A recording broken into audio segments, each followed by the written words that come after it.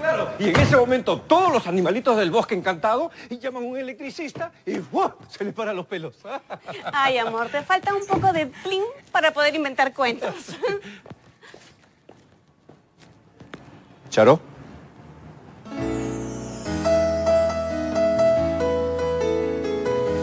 Mejor vamos.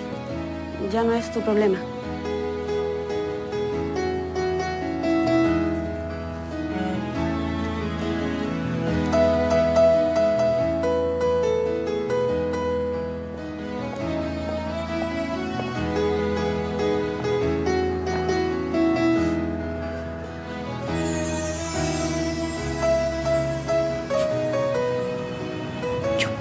Haber sido feliz con ese hombre, Lucho.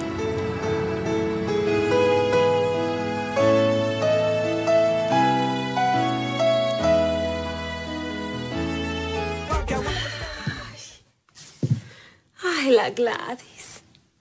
Ay, el otro.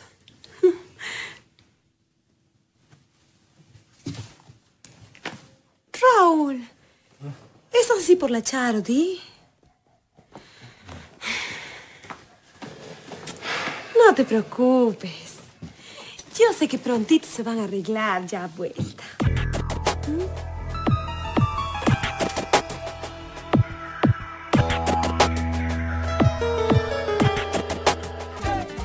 Vaya.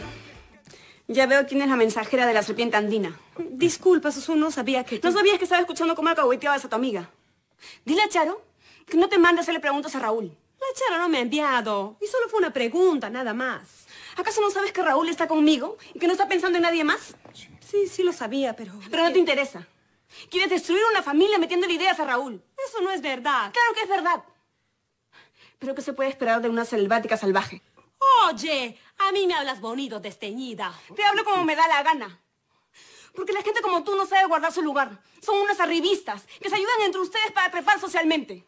Pero la próxima vez que te vea alcahueteando, llamo al parque de las leyendas para que te encierren. No voy a permitir que me falte el respeto de esa manera. ¿Yo qué culpa tengo de que te mueras de miedo que la Charito venga y te quite el Raúl? ¿Ah? ¿Qué está pasando acá?